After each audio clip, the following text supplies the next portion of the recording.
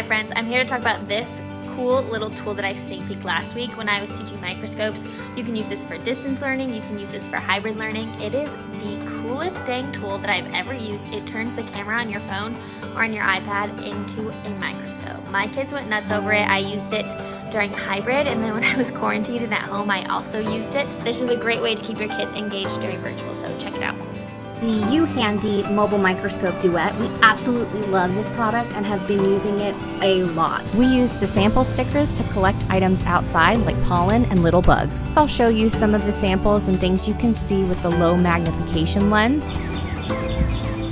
This is the mosquito larva that we managed to capture with the pipette and it's on the low magnification lens on the front facing camera with Petri dish. We go on walks we bring home samples and it is so cool. I think it works so well so the kids can use it with a phone or a tablet and the learning experience is unmatched.